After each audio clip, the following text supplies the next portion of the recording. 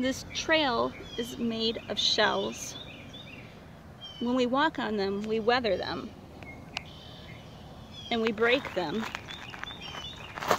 And that's called weathering when you break the shells.